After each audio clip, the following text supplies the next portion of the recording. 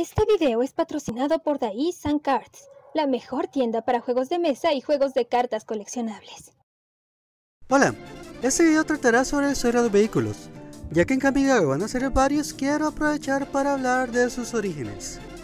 En mi opinión, se basaron en esta carta que es de Fallen Empires, que es una carta ya bastante antigua del 94 llamada Boldarian War Machine, que es de 3 manás. Básicamente es un muro con Defender que tiene una habilidad que era girar un Merfolk que uno controle y esta carta puede atacar como tiene Defender. Y se podían girar más Merfolks y darle más 2 más 1. Y cuando esa carta muriera, destruía todos los Merfolk que fueran tapiados ese turno para sus habilidades. Básicamente vemos que para que sirve pueda atacar hay que girar criaturas. Entonces yo creo que esta es la base para todos los vehículos que salieron mucho después. Ahora de 1994 pasamos al 2016 donde salió la primera expansión de bloque Edge con su mismo nombre. En todo este bloque vimos varias cosas nuevas como las energías y también pues los vehículos. Todos los vehículos son artefactos con el subtipo vehículo tienen poder y resistencia pero no pueden atacar por sí mismos, sino que tienen que ser tripulados por otras criaturas. Cada vehículo tiene su número tripular, el cual significa qué poder tienen que tener las criaturas que lo tripulen. Por ejemplo, un vehículo que llegue a Crew 2 tiene que ser tripulado por una criatura de poder 2 o si no por dos criaturas de poder 1. Estas cartas han tenido bastante uso cuando han estado en Standard, por ejemplo, en lo que fue Edge hubo un deck Marduk que sería blanco, rojo y negro con vehículos. De todos los de expansión probablemente el mejor fue Smuggler Copter, que solamente pesa 2 manás y es 3-3 y se tripula por una criatura de 1 de poder o más. Básicamente cuando ataca o bloquea nos da la opción de robar una carta y después descartar una. Esta carta inclusive estuvo prohibida en Standard y ve cierto juego en Legacy, porque resulta que hay un deck en Legacy que usa Painter Servant para que todas las cartas sean de un solo color y que usa Grindstone para dejar al oponente pues sin deck. Y este vehículo les ayuda para atacar de vez en cuando, robar cartas y botar cementerio ya que pueden recuperar algunas del cementerio y les sirve robar cartas para que su combo sea un poco más rápido. Entonces yo creo que es muy buen vehículo y que sirve porque hace que cualquier color pueda robar cartas. Inclusive un deck blanco con ese vehículo puede robar, lo cual no es tan fácil para los decks blancos, por ejemplo. Luego tuvimos el bloque de Ixalan desde el 2017. Y aquí los vehículos básicamente eran barcos piratas en su mayoría. El más interesante era el Conqueror's Galleon, de 4 maná que cuando atacaba se exiliaba a fin de turno y se transformaba en una tierra llamada Conqueror's Foothold, lo cual era interesante porque es el único vehículo que se da vuelta hasta ahora. Y es una tierra interesante porque da mana incoloro por 2 manadas roba y descarta por 4 manadas roba y por 6 manadas regresa cualquier carta del cementerio a la mano. Lo cual es bastante caro, pero en formatos como Commander sí es posible de usar. Dominaria solamente nos trajo un vehículo, pero es uno muy importante en cuanto a historia, es el Weatherlight. Este vehículo fue usado como la nave que usaron para viajar en diferentes planos cuando se enfrentaban a los direcciones originales, a los que eran de Yangmoth, mientras estaba vivo. Inclusive fue la nave que usaron para acabar con Yagmoth usando la Legacy Weapon. Esta nave fue pues reconstruida, consiguió nuevas piezas y ahora tiene nueva gente tripulándola.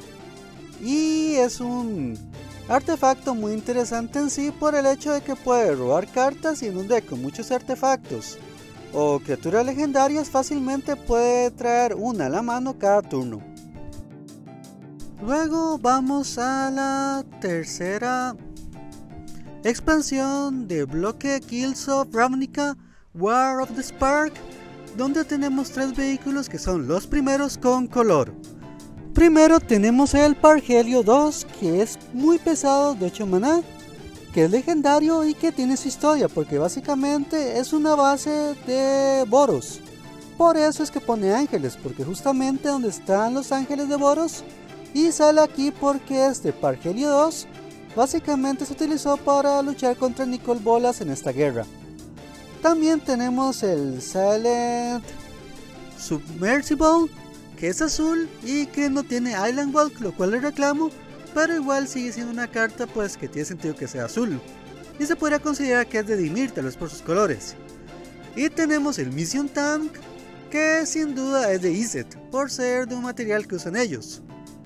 El cual realmente es interesante porque se pone más uno más uno hasta el final del turno por cada creature spell que uno juegue y se vuelve artefacto sin tener que tripularlo. Lo cual es muy bueno para este tipo de juego de Iset porque usa muchos hechizos por lo cual podría simplemente atacar pues, estando en el campo sin tener que tener alguna criatura. Luego en Throne of Eldraine tuvimos el Enchanted Carriage de 5 mana que básicamente es el carro calabaza de Cenicienta porque cuando entra pone dos token ratones. No ratas, sino ratones, los únicos ratones que hay per se. Entonces puede básicamente ser tripulado por ellos para manejarlo fácilmente.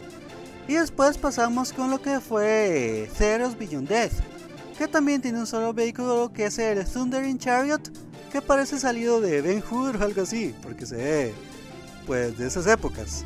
Que tiene First Strike, Trample, Haste y Crew One, pero que es un poquito pesado, por lo menos en mi opinión. Luego de esto tenemos la expansión Kalgen basada de cierta manera en la mitología nórdica. En esta expansión tenemos bastantes vehículos, de los cuales el más sobresaliente es el Esicas Chariot, que vio mucho juego en Standard, y que es de 4 manas con uno verde, y cuando entra pone dos gatos 2 justamente para tripularlo, y que en cualquier momento que ataque puede crear una copia de un token que uno controle, lo cual es bastante útil. Lamento que sea pues verde, me hubiera servido más que fuera azul, por lo menos personalmente. Y tenemos aquí pues otro vehículo que se da vuelta por de cierta manera. Porque resulta que una criatura legendaria de los dioses de Kalkim, Cosima, del otro lado tiene Daomenkil, que es básicamente su barco, y que como es lógico para este video pues es vehículo y tiene una habilidad muy interesante, en la cual el daño combate que en los vehículos son cartas exiliadas de los oponentes, y nos permite jugar tierra de esas cartas exiliadas lo cual es muy único y le da otro ángulo pues a los vehículos que es en un deck junto a este. Luego tenemos dos de dos expansiones y uno que es un promocional que solamente tiene empleados de Wizards. Primero el Dermo Taxi que es de Modern Horizon 2 que realmente no tiene crew y tiene un print que hace que exiliemos una captura a un cementerio y después giramos dos criaturas, se vuelve criatura, puede atacar y se vuelve una copia de la criatura que tiene impresa. Es muy curioso porque tiene esta mecánica que era de Mirren antigua. Después tenemos el Honeymoon Hearse que era de Crimson Bow, que es un vehículo rojo con trample que no tiene crew pero que ocupa girar dos criaturas para que se vuelva pues criatura y atacar. Y después tenemos el Mountain Mover, que es de esas cartas que le dan empleados que son buenos empleados de Wizards, que no son legales porque por detrás no tienen nada. Por lo cual no es tan relevante como los otros, pero igual lo menciono pues para que sea más completo en sí el video. Y ahora vamos con el set que saldrá pronto que es Kamigaga Neo Dynasty. Este set básicamente se ubica en el presente Kamigawa que es futurista a la par de otros planos por lo cual tenemos bastantes vehículos el cual es básicamente el arquetipo de draft blanco-azul. Aunque tenemos en el Mukotai Soul Reaper el primer vehículo negro de todos. Y es muy interesante porque básicamente la ilustración alternativa parece ser una especie como de muñeca extraño donde meten el alma. Y tenemos otros como el Midnight Match que se vuelve una copia pues de una criatura que lo tripula, lo cual tiene sentido porque se conecta la mente pues a este vehículo. Básicamente como los mechas de Evangelion, por así decirlo. Y otros interesantes entre todos los que hay como el Sur Hacker Mech, que cuando entra hace daño igual a la cantidad de vehículos en una criatura o Walker básicamente para quien tenga un deck centrado en ellos. También en el deck blanco-azul de Kamigawa Neon Dynasty de Commander van a salir bastantes vehículos, los cuales mencioné en un video de este deck que está en mi canal.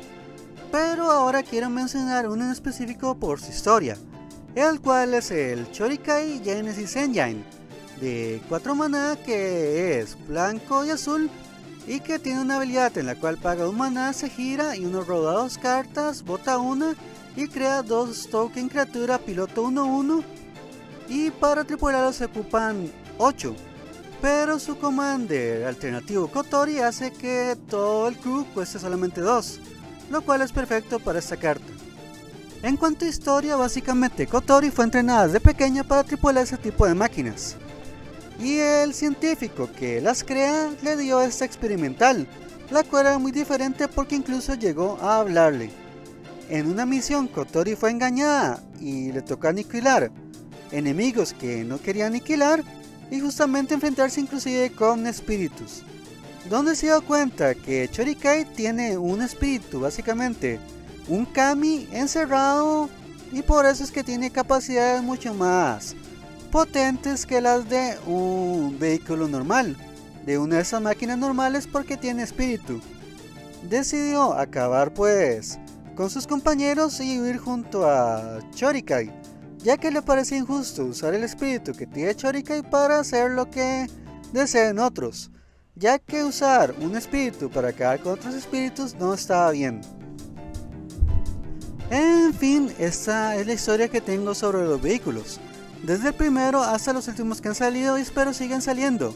Aunque va a ser difícil después de que en Kamigawa hayan tantos seguidos, por lo menos que le valgan unos cuantos por expansión porque la verdad me parece un tipo de carta bastante interesante. Hasta la próxima.